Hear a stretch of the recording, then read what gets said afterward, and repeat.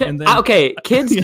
Kids are so bad at lying. This is something that I've noticed with my eight-year-old. I I wish that he would just hit me or something instead of ever trying to tell a lie. So the most common one, I don't know, um, in terms of children, I know, I don't know, um, Dick, if you have. Any I don't kids. have any. Woody No, has. I've got a six-year-old I have two. nephew that I'm very close Okay. with.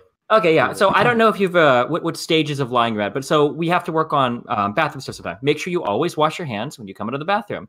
But every sometimes I'll wander by the hallway, I'll hear the toilet flush, and he'll come walking out, and I'll say, Nathan, did you wash your hands? And I'll go, Oh yeah, Dad.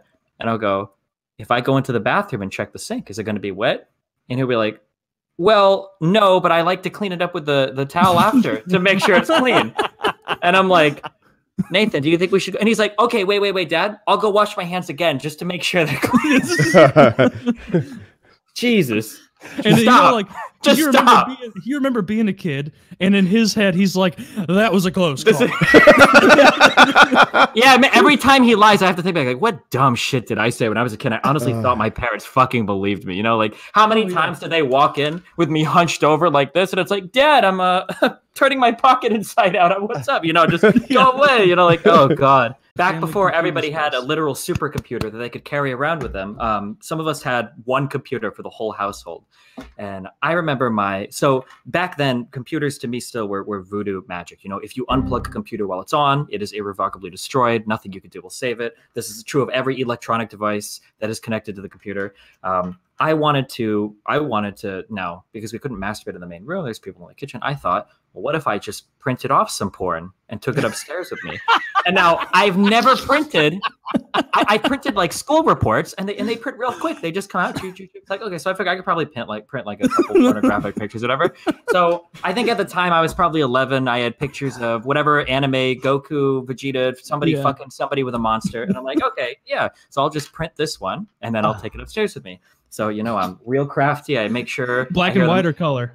Oh, full color. oh, nice. Yeah. All right. So I, I push the print button on this, and then real quick, I Alt F4, I clear the cookies, the browser history, and everything. And I think I'm real smooth, and I walk over to the printer, and yeet, yeet, it's gonna take and thirty minutes. Oh to print. my god! yeah, and, and so like a uh, like a minute or two.